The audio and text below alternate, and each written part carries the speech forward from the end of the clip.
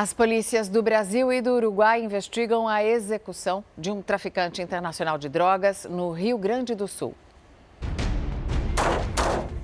Esse é o momento da execução de um perigoso traficante na fronteira do Brasil com o Uruguai. As câmeras de segurança registram quando um motoqueiro para ao lado da caminhonete branca e dispara sete vezes.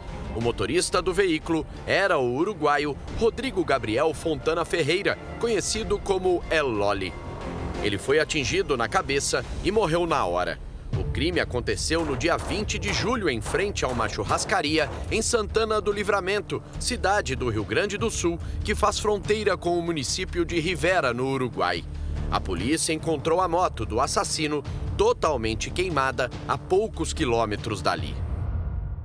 Sabido es que cuando eh, integrantes de los grupos delictivos adquieren un alto nivel de exposición, eventualmente o eh, este, eventualmente eh, este, participan en algún tipo, por ejemplo, de pérdida de cargamentos o, de, lo que fuere, este, bueno, el propio grupo delictivo a veces se encarga de tomar medidas que lamentablemente llegan a, a eliminarlos, ¿no?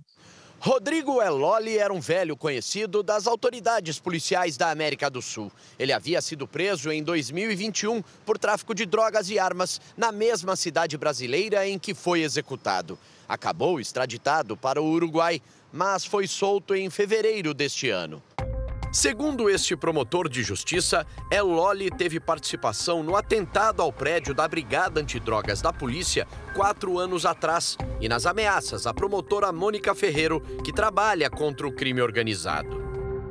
Lo que sí le puedo decir es que eh, a juicio, juicio, quedó claramente establecido la vinculación de, de, de el, grupo que se eh, autoatribuyó la participación tanto en el atentado a la brigada como en las respectivas amenazas que brindaron a, la fiscalía.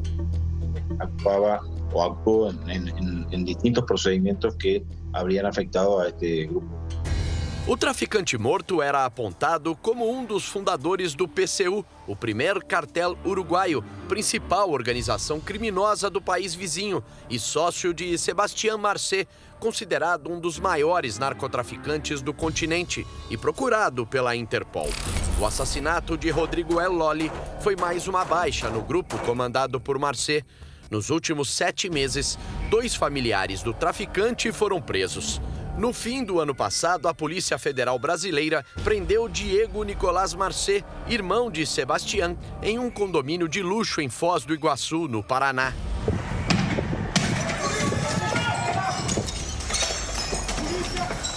Segundo as investigações, Diego veio ao Brasil para acompanhar o nascimento do filho. Ele era considerado o homem de confiança do irmão e ajudava a movimentar grandes quantidades de cocaína entre a Bolívia e o Paraguai. Há duas semanas, a esposa de Marcé, Gianina Garcia Troche, também foi presa no aeroporto de Madrid, na Espanha, quando voltava de uma viagem a Dubai. Ela tinha um mandado de prisão da justiça paraguaia, acusada de tráfico de drogas, organização criminosa e lavagem de dinheiro.